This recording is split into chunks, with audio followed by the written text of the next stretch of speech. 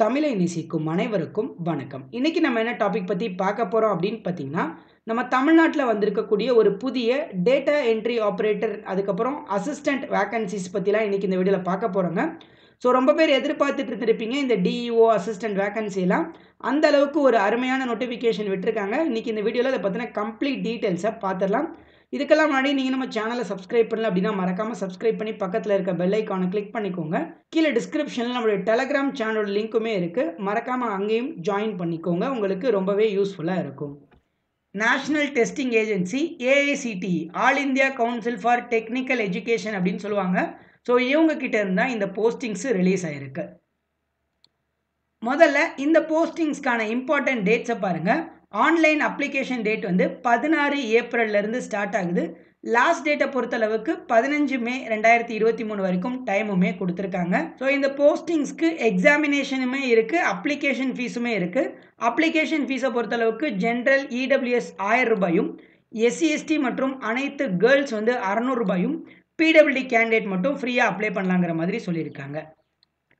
So என்னென்ன பதவிகள் இருக்குது அப்படின்னு பார்த்தீங்கன்னா அசிஸ்டண்ட் அப்படின்னு ஒரு வேக்கன்சி ஆஃபீஸ் சூப்பர்டென்ட் அப்படின்னு ஒரு vacancy data entry operator vacancy அதுக்கப்புறம் லோயர் டிவிஷன் கிளர்க்கு வேக்கன்சி இதுதான் கொடுத்துருக்காங்க.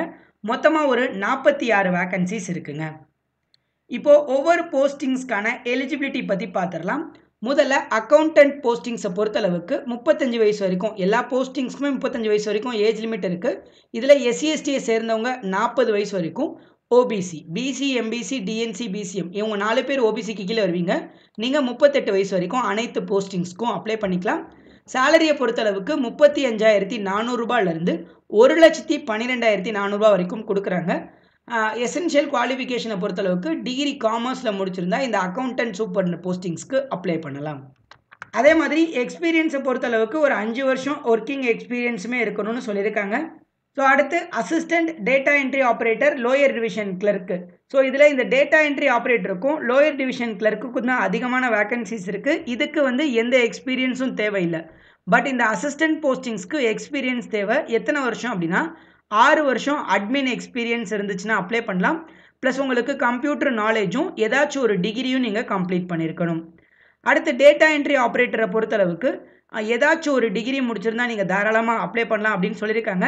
இதுவே கம்ப்யூட்டர் சயின்ஸ் டிகிரி முடிச்சிருந்தீங்கன்னா நீங்கள் கண்டிப்பாக அப்ளை பண்ணுங்க அப்படிங்கிறத மென்ஷனுமே பண்ணியிருக்காங்க ஒருவேளை நீங்கள் ஏதாச்சும் டிகிரி முடிச்சிருக்கீங்க அப்படின்னா கண்டிப்பாக டிப்ளமோ இன் கம்ப்யூட்டர் அப்ளிகேஷனோ இல்லை கம்ப்யூட்டர் சர்டிஃபிகேட் கோர்ஸோ ஏதாச்சும் முடிச்சிருக்கணும். இதுவே நீங்கள் கம்ப்யூட்டர் சயின்ஸ் சம்மந்தமாக படிச்சிருந்தீங்கன்னா உங்களுக்கு எந்த அடிஷ்னல் சர்டிஃபிகேட்ஸும் தேவையில்லைன்னு சொல்லிட்டாங்க.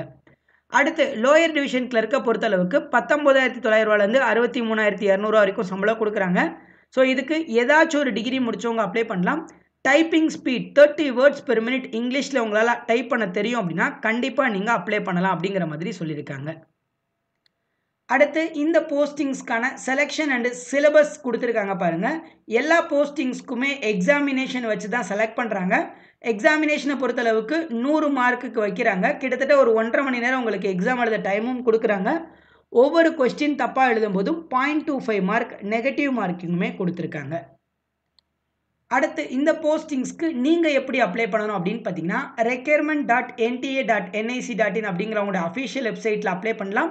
அப்ளை பண்ணும்போது அப்ளிகேஷன் ஃபீஸுமே நீங்கள் பே பண்ணி தான் அப்ளை பண்ணணும் அப்படின்ற மாதிரி சொல்லியிருக்காங்க.